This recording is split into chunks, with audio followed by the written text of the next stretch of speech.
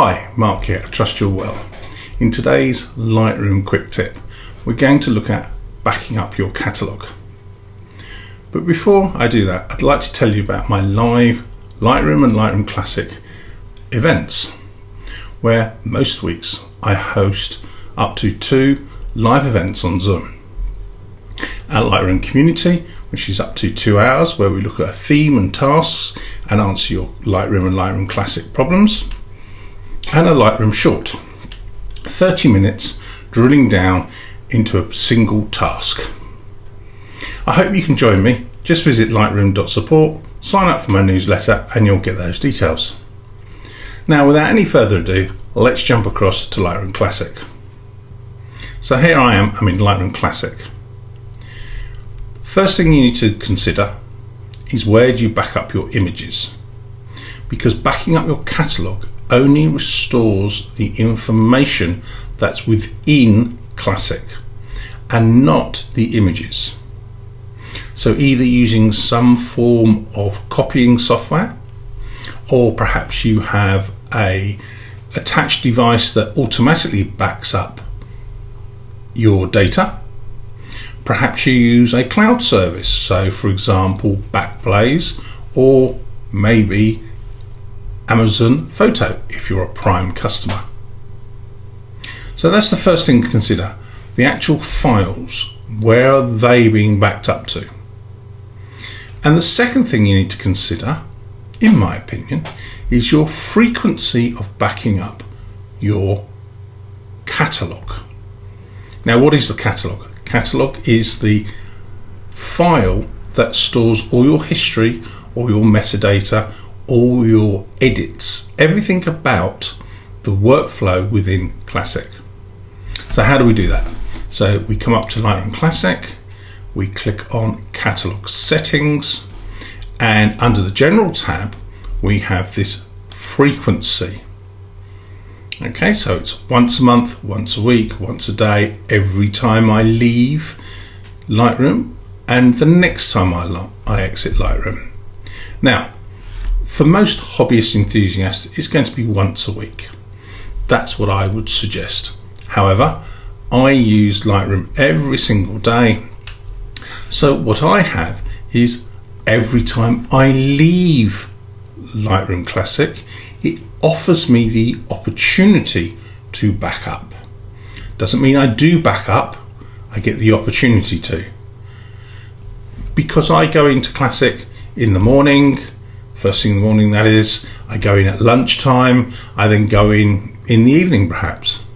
And I'd like that opportunity for me to say, oh, I've spent three hours at, you know, doing a lot of culling and metadata, that I want to choose when I want to back up. So for me, in my work catalog, I have every time I exit. But I would, as I said, suggest most hobbyists will be once a week. Now, for this purpose, I'm going to select the next time I exit Classic. So I've selected that from the drop down press X. Now I'm going to exit Classic, so Lightroom Classic and quit. And then a pop-up appears. Again, at the top in the drop down, that is my frequency, my default frequency. So in this catalog, which is my training catalog, it's once a week.